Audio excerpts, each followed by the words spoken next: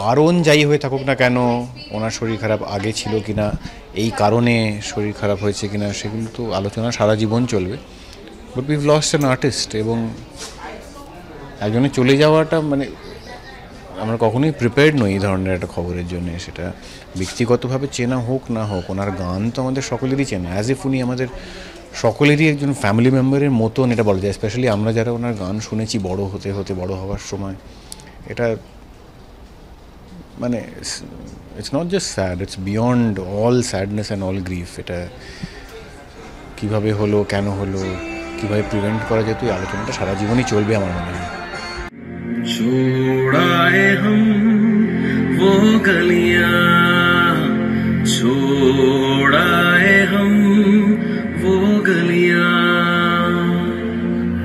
जहां तेरे पैरों के कमल गिरा करते थे हंसे तो दो गालों में भवर पड़ा करते थे।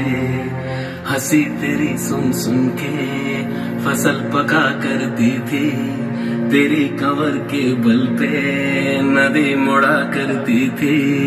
छोड़ाए हम वो गलियाँ छोड़ाए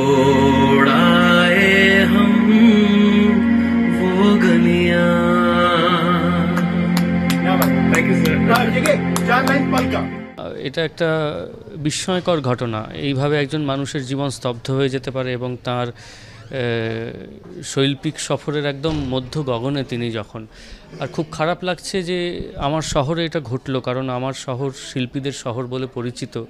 সেখানে তার এতটা অসুবিধে হলো যে শেষ পর্যন্ত তাকে বাঁচানো গেল না। এটা খুব আক্ষেপের কলকাতার বাসিন্দা হিসেবে এই আক্ষেপটা যাবার নয়। বহু মানুষের স্মৃতির সঙ্গে না আসলে গান বাজনা জড়িয়ে থাকে তো। তো সেই ভাই চলে যাওয়ার পর থেকে আমি কেকের বেশ কয়েকটি গান খুব এড়িয়ে চলি।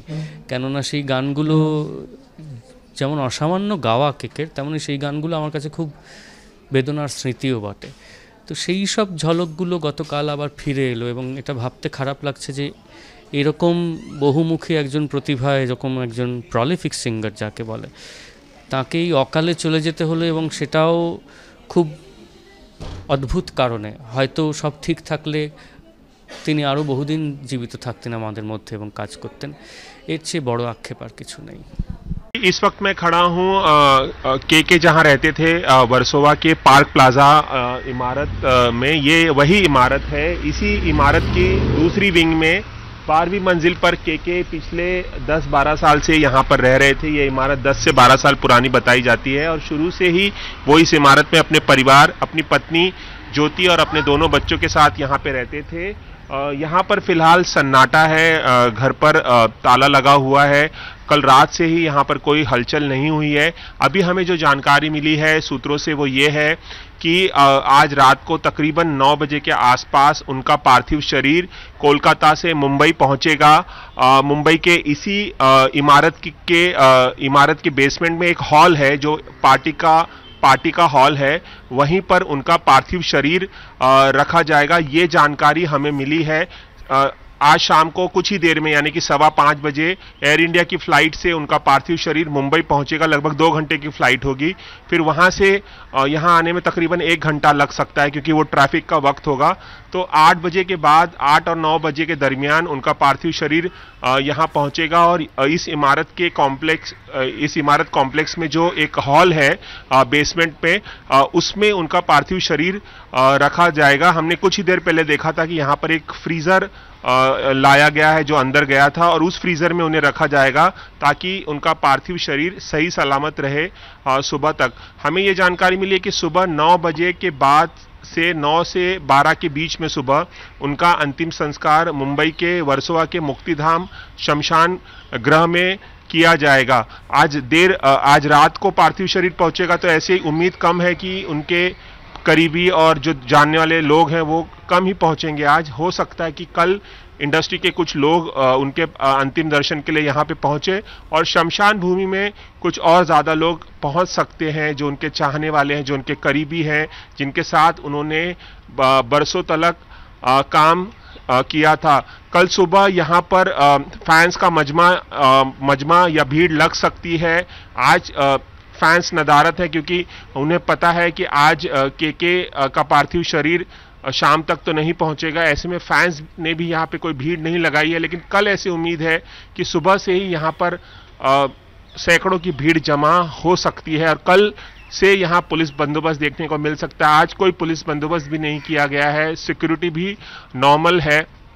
हमें सिक्योरिटी गार्ड ने बताया कि अंदर जो हॉल है पार्टी का, वहाँ पर तैयारी चल रही है। वहाँ पर उनके पार्थिव शरीर को रखा जा सकता है। कल 9 से 12 बजे के बीच में उनका अंतिम संस्कार किया जा सकता है। पिछले तीन दशकों से उन्होंने मुंबई को अपनी कर्मभूमि बनाया था। वो दिल्ली के रहने वाले थे। दिल्ली में जिंगल्स गाया करते थे। फिर उसके बाद उन्हें मुंबई में गाना गाने का मौका मिला। फ़िल्म माचिस के ज़रिए गुलजार की फ़िल्म आई थी। माचिस 1996 में छोड़ आए हम, वो गलियाँ, वो गाना गाया था। उसके तीन साल बाद फ़िल्म आई थी, हम दिल दे चुके सनम, संजय लीला भंसाली की, जिसमें उन्होंने एक आइकॉनिक गाना, तड़प तड़प के इस दिल से आह निकलती रही, ये गाना गाया। और उसके बाद वो बहुत ज़्यादा लोकप्रिय और फ़ेमस हो गए।